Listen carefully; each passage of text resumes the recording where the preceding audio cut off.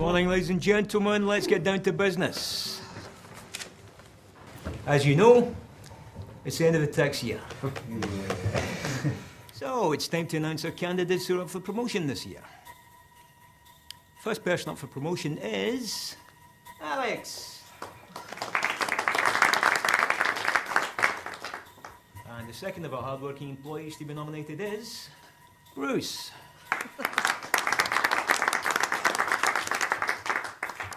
The results will be announced tomorrow. So, very best of luck to all of you.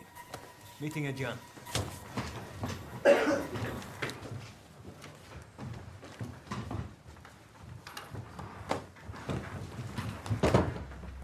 Well done, Bruce. It's a pleasure to be running against you for the promotion. Thanks. Congratulations on being nominated. Yeah, I think it's pretty obvious that your hard work's been noticed around here. You've been great to me since I started last year. Not at all. Look, I know how difficult it is being a new boy. I'm glad to help. Let me buy you a coffee. That's the least I can do. The least you could do is buy me a pint. Look, seriously, I've got to get back home to the wife. It's my wee girl's parents' night, and I can't miss that. I'll speak to you in the morning. Cheers.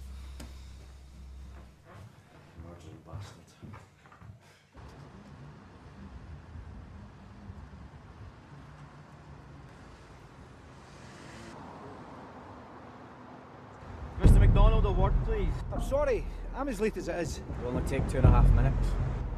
Whoa, whoa. Time is short for your wife and daughter. Unless you join me in this car it's very instant.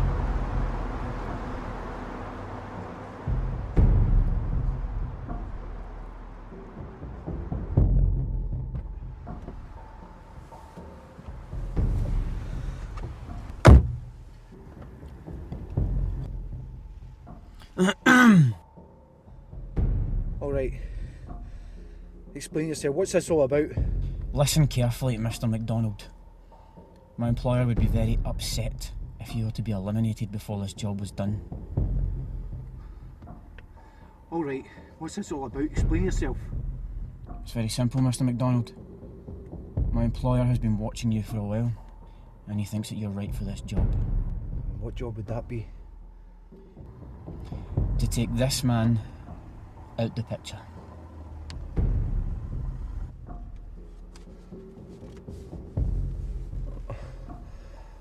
Oh, God. What's he done wrong? He's an innocent young man. He borrowed money from the wrong people. I won't do it. You can't make me do anything. Your wife and daughter are being held for the time being. One phone call and they will be killed or released. What happens to them now is up to you. Why should I believe you? I'm a very honest man, Mr. McDonald. You'll find that out soon enough. Mr. Thompson's address is in the, the envelope. You have half an hour to decide. And you'll be needing this.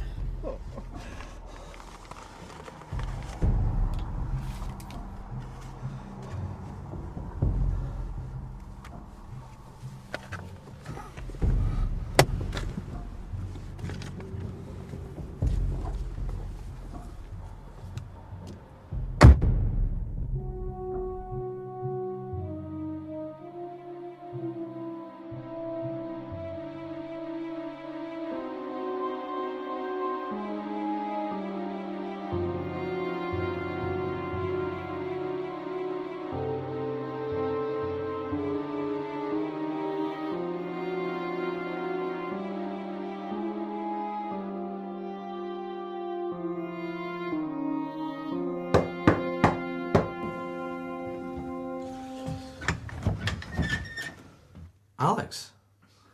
Didn't expect to see you here. I thought you had that parents' evening thing. I decided to let the wife deal with it. Look, I was wondering. Do you fancy that coffee now? There's something wrong, isn't there? No. What makes you say that? I can tell. You've fallen out with your wife, haven't you? Come on. Come on. Let me get that coffee. Just make yourself at home. sorry to hear you're having trouble with your wife. It's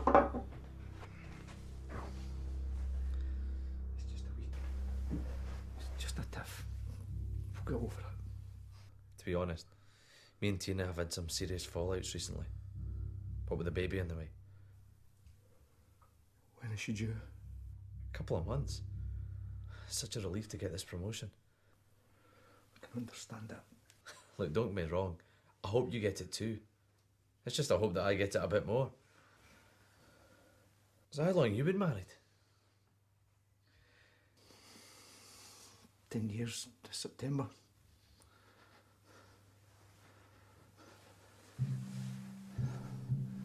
I'm really sorry, Bruce. What's going on? We can talk about this. Alex, put the gun down, please. Put the gun down, please. I can't! They have my wife. They have my daughter. Who has them? Look, we'll go to the police. We'll get them back. I'm so sorry, Bruce. Alex! I'm so sorry, Bruce.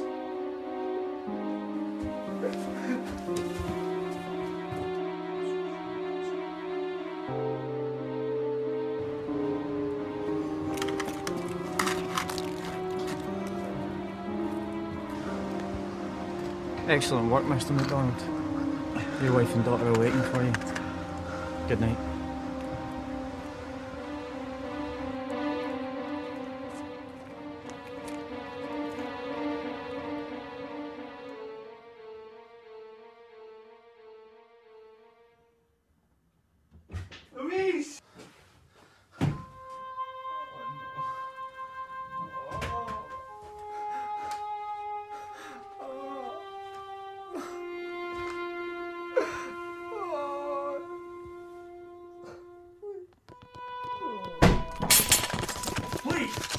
Gun and move away from the bodies.